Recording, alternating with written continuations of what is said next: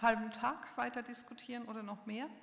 Wir freuen uns, dass wir jetzt zum äh, Schluss des heutigen Tages einen Beitrag haben, noch im Rahmen der internationalen Zusammenarbeit. Äh, Marinos Ioannidis äh, ist UNESCO und ERA Chair for Digital Cultural Heritage, ist also so in dieser ganzen Thematik drin, in die wir, mit der wir uns auch beschäftigen, da es eine äh, Veranstaltung ist im Rahmen der Ratspräsidentschaft, wird Marinos in Englisch sprechen, ähm, wie es im Programm steht, How a Pandemic Bumped Up Digital Cultural Heritage in Society.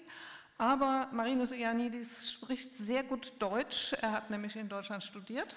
Und äh, sollten hinterher, äh, äh, sollten Sie Fragen haben oder sowas, ist das problemlos in Deutsch äh, zu machen. Marinos kann eben in Deutsch auch antworten.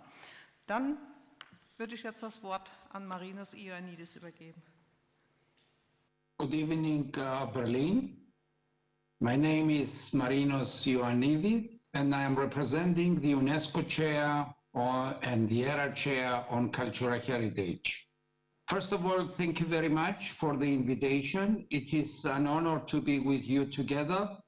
And uh, Gott, from Nicosia, which is the last uh, divided uh, city in Europe. You have it behind you, we have it in front of us. Uh, and of course, congratulations uh, for your project and uh, the excellent uh, conference. I was in the position today to follow up despite the heavy loading of work which we had here locally. Next slide, please. Um, we do more or less this what you do. We are trying to uh, digitize, but also at the same time to preserve the memory of our parents. Uh, why? Because not only to protect and preserve, but also because of uh, in front of us are the eyes of our children. The next one, please.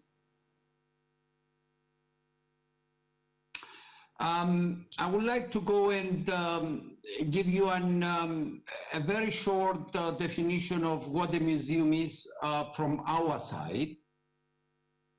Um, and uh, this starts with our name, um, Mnemosyne, 2,500 years ago, which was the mother of uh, nine uh, ladies.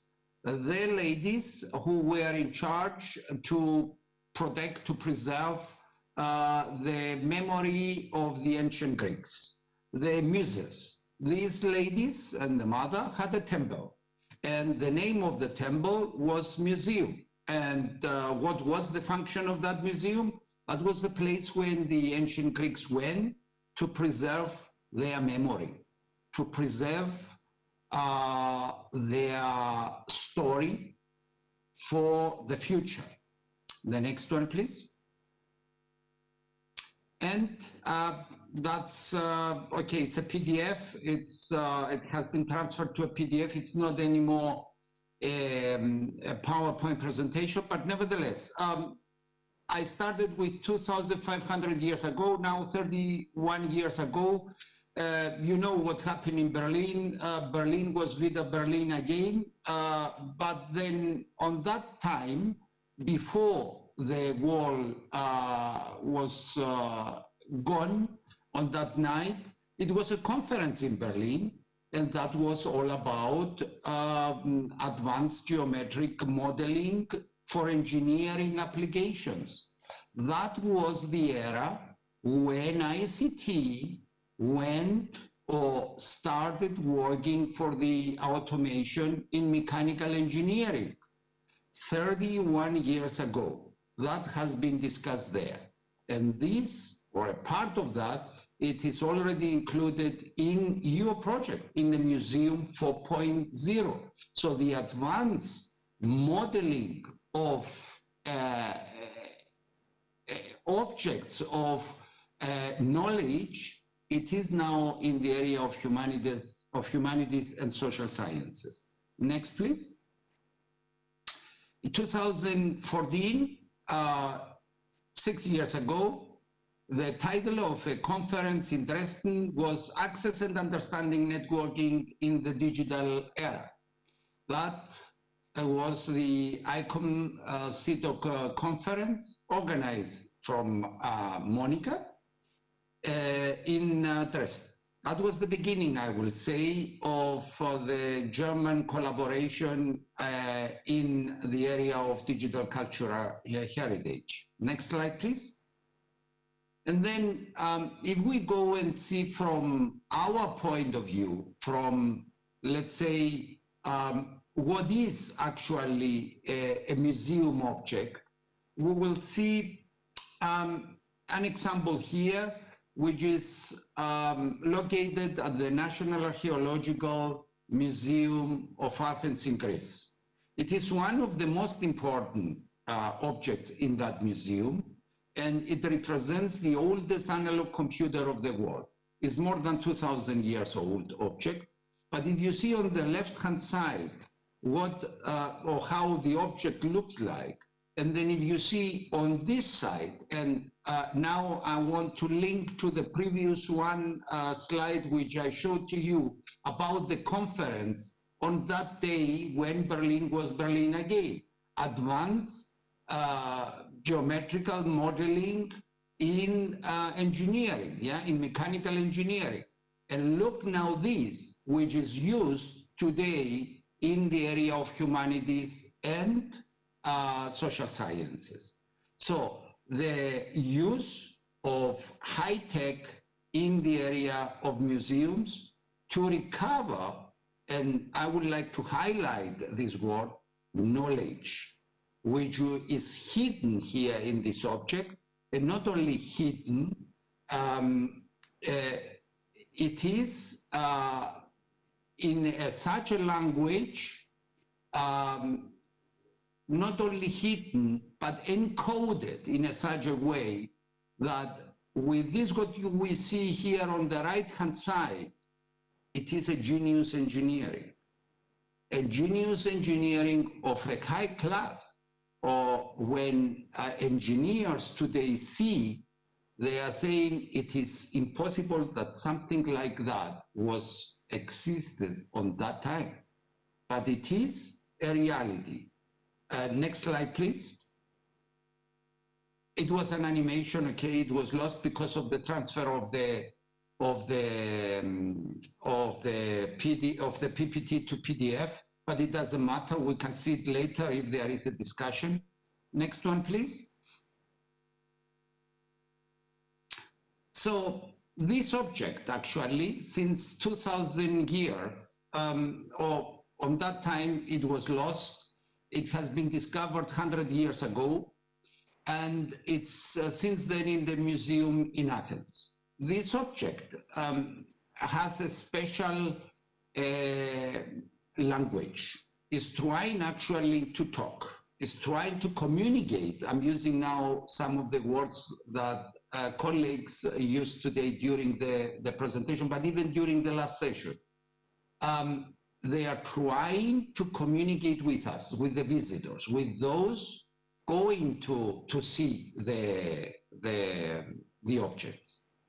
But we are not in the position to understand, to get these um, audio signals in the appropriate frequency and wavelength so that we can um, understand the, the, the story, the memory, the identity, which is encoded in that object. Identity also so far as knowledge, so far as genius engineering concern, and genius mathematics. Yeah, and um, I I would like here in brackets to mention that there in these mathematics you will find 2,000 years ago the Kepler laws, the the astronomer, the German astronomer, the Copernican laws.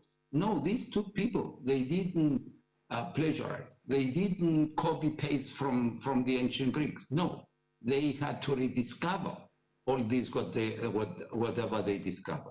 And now it's how can the digital era, the ICT, this high tech of the 21st century, make it possible for us to understand, to access, to preserve, to protect the history of mankind in a time period uh, my dear colleagues, ladies and gentlemen, when worldwide we don't have standards. There are only two standards. This is the CIDOC CRM and the object ID and nothing more.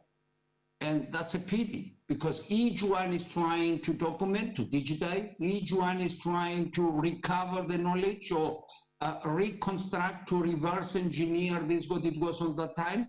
But at the end of the day, so far as uh, long-term preservation concern and protection of that knowledge over the time, all of us, we fail because of the revolution of the ICT and whatever is changing every day in our domain. Next slide, please. Yeah, it is a place of knowledge, of story, of memory and identity, and it is also a place to preserve and protect. And this is now what we are going to do with the digital museums. We want to, uh, to, to create a place, digital places for knowledge, for story, for memory, identity, and of course to protect and preserve. Yes, next slide, please. And then the pandemic arrived. Uh, and um, that was the most significant global disaster of the century. And one of the most significant challenges uh, the humanity has faced since the Second World War. Actually, it is the Third World War because all the war is fighting now against this invisible um, um, enemy. Next slide, please. And then suddenly the news told again about the museums, about these spaces of knowledge and uh, of memory. They closed. And that was uh, in the news. It was a momentum for all of us. Yes, next please. Um, and the, the UNESCO report came out uh, two months, three months later, saying that out of the 182 states, uh, that's uh, the members of UNESCO, 156 closed their museums, business closed. 90% of uh, the museums, uh, so more or less 85,000 institutions, close the, the, their doors forever. Uh, so, which means what? The analog world shut down. It was over. But at the same time, please, next slide. If we see what it means, uh, what it's the impact to close museums, to close all these institutions, you see here, for example, uh, the staff, what is happening with the staff, reduction of programs, loss of public funding, loss of private funding, sponsoring, and during the time when the museums uh, are closing and so on. And you see here that the, the three different variations from a, um, a, a nice graphical presentation from ICOM. Next slide, please. And then here from NEMO, one of the latest uh, results, where you see the increase um, in, um, of course, relation to the start, but also at this uh, the relation to as it was before and now, and considering to start when online service activity, yeah, increased. So we are moving now from the uh, stage of the analog to the digital. Next slide, please. And you see what is uh, happening around Europe, at least the European map here coming out from digital museums, uh, an initiative in, in uh, Austria uh, during the coronavirus pandemic. So we see the analog world of the museums is closing, shutting down, but the analog is going up. Next, please.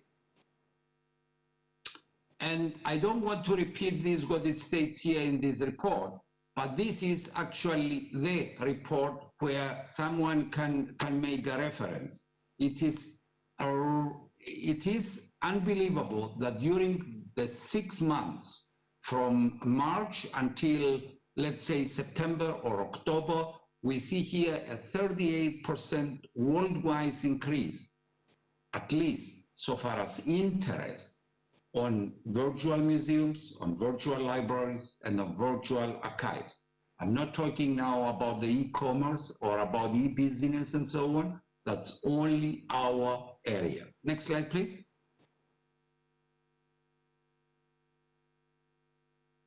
Yes, and if we see now this COVID-19 tsunami, I gave the name tsunami, this, this definition.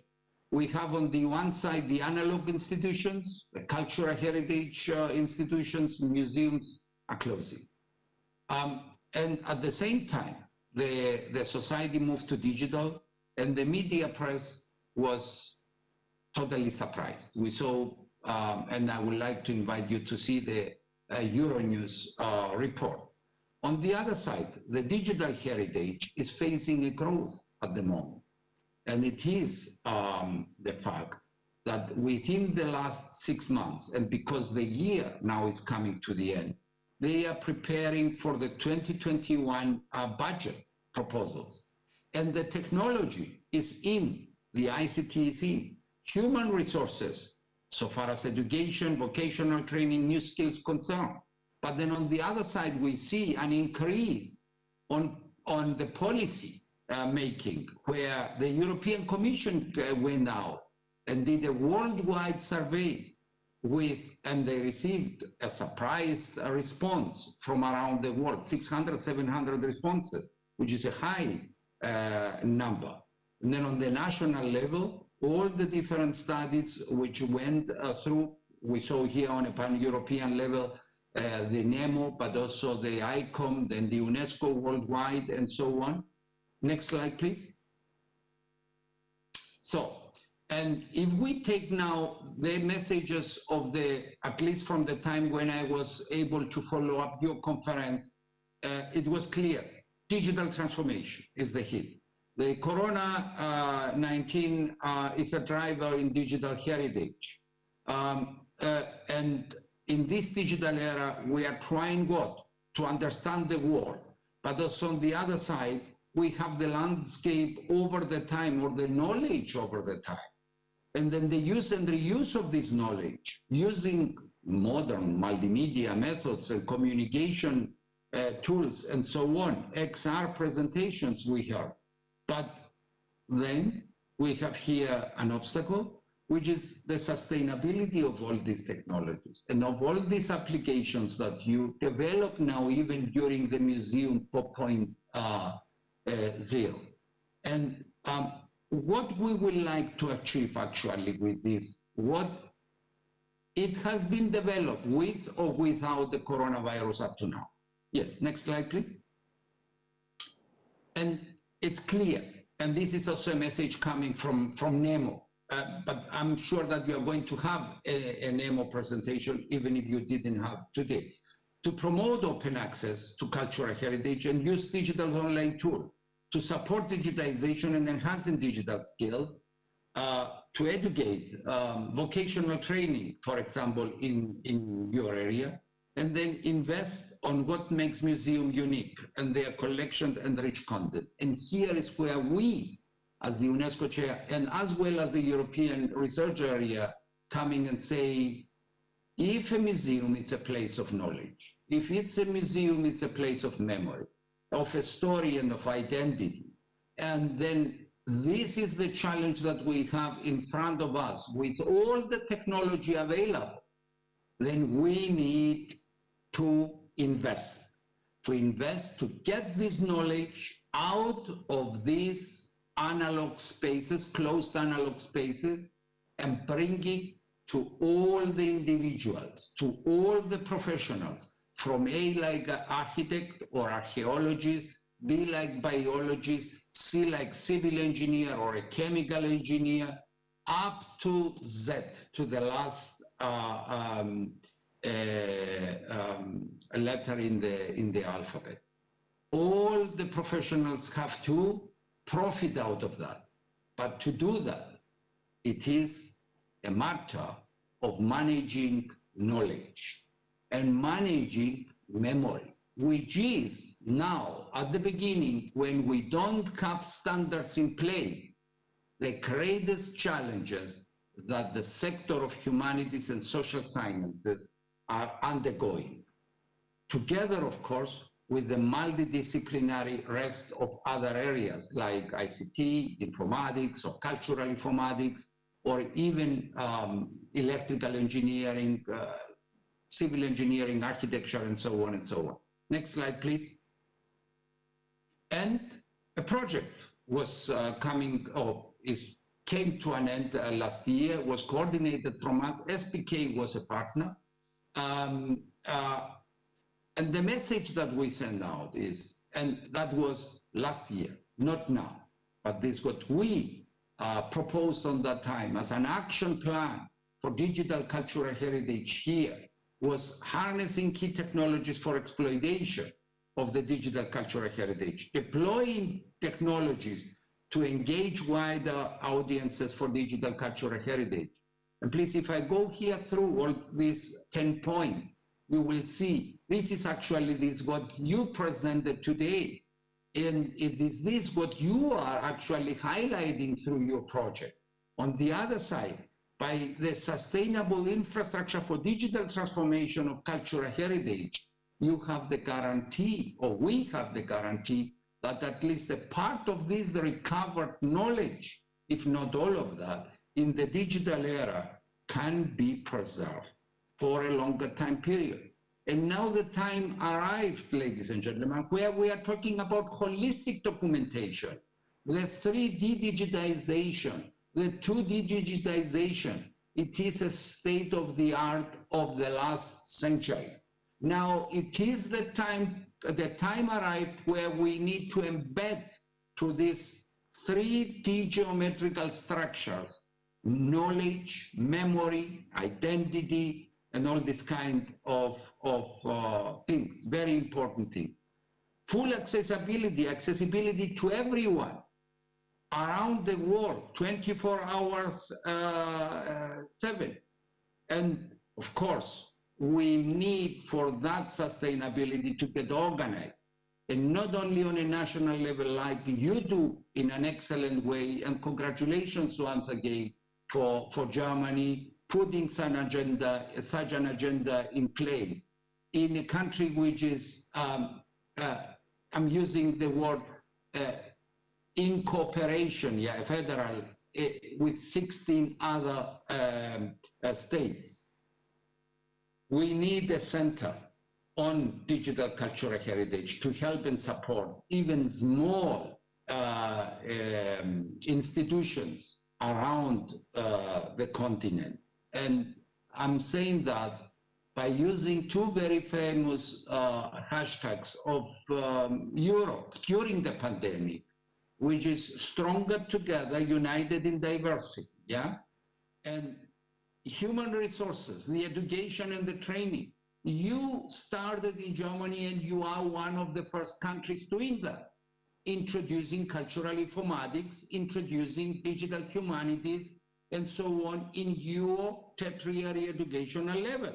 What's happening with the rest of the world, with the rest of Europe, with the rest 26 countries? It is an exception to find today cultural informatics. Cultural informatics is digital cultural heritage um, education. Um, and then, of course, at the same time and in parallel with the vocational training, with this what it is needed, it is needed to, to train those who are now in charge of this, what we say, the knowledge space, the, the, the memory places, and so on.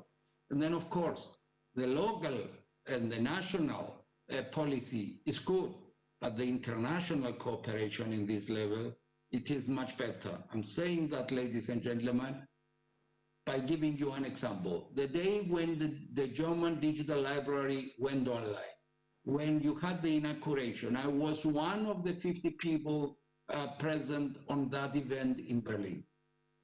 And the first thing that I did during the break was to run to the computer and see what it is there in the digital form from my country, from Cyprus. And I took some of these pieces with me on a paper, of course, the, some records, some metadata, and I brought them to Cyprus. And I told to the people here, do you know Have you ever seen, have you ever heard about that? Yes, we know, but we are not sure and all this. And in few pieces, they didn't know. So it's a virtual repatriation of mm, our memory and of our identity, which is preserved and um, protected under your supervision. So we need the policy, we need the international cooperation, we need more investment in this in this particular area. Next slide, please. And then that was Europe before, but what is happening uh, so far as UNESCO concerned? And we see here, yeah, um, digital cultural heritage. It is actually the ideal area where every cent counts to in um, to invest for the sustainable development goals, for the UN sustainable development goals. To give you some example, education, learning from the past, yeah? Lesson learned from the past. But whom am I telling this? To the Germans? No way. Then gender issue, if I see today the speakers and so on, it's something that you achieved actually. Contributing to the society, it comes from the society. It's pretty full, uh, uh, uh, an area for the society and coming from the society and to the economy. It imagine now that the museums starts worldwide to digitize this not only what it is invisible in the different kind of exhibitions, but in the undergrounds and in their undergrounds, the archaeological sites, the monuments and all this. How many new jobs will be in place? And that is what? It is the guarantee for the start of free online 24-7 access to the knowledge of our fathers, of our grandfathers, to our memory. Next slide, please. I would say Dankeschön, Evcharisto. I came to an end, but I would like at the same time to announce to you a conference which starts next Monday here in Cyprus. It's going to be fully online this time, and it is focusing exactly in the main problems of what? Of the moment when we transfer the analog world to the digital world, the moment when artifacts are moving from the way of how they are presented in the museum to the to the to the way of how they are represented in the memories of our computers or in the cloud. And from there how we can sustain this memory, these records, in a such a way so that not only to be preserved and protected, but also to be used and reused for a long term and not just only for, okay, that's a virtual exhibition and let's see what we're doing uh, next. Every cent here it is not seen as a current growth for tomorrow. No, it is seen as a growth for the, for, for the next 20 or 30 years. Think only that it is an investment for the generation to come and not for us. Us is just only us is for us is only the duty to take now action as you did and especially to convince the politicians, those who are in charge for the policy, policy but also of the money, to invest even more to this, what it is uh, here. Once again, Dankeschön, es war sehr schön, bei Ihnen dabei zu sein, obwohl es auch digital äh, ist und so weiter entfernt. Vielen Dank.